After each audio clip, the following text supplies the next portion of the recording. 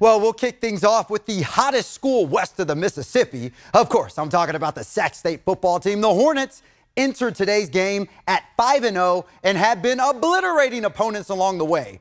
Their victims today, the Eastern Washington Eagles.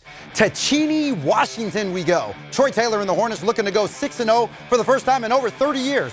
We'll pick this up early in the first quarter. Sac State in the red zone. Asher O'Hara calling the shots from the one yard line, and we know what that means. O'Hara didn't go airborne this time, but he still gets the touchdown. Now, later in the first, Hornets driving again. Jake Dunniway, he's the St. Mary's High School product out of Stockton throws a pass to Cameron Skattebo. And I've honestly run out of superlatives to describe this dude. This is just ridiculous right here. The pride of Rio Linda High School takes this in for a touchdown. That was so good, we gonna look at that again. Dunniway hits Skattebo out the backfield. Look at the hurdle right there, and then watch him spit off the defender. I mean, it's like he's a video game right there. Oh, you fancy, huh?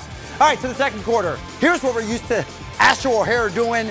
Air O'Hara goes airborne over the offensive line for the touchdown. More bounce to the outs.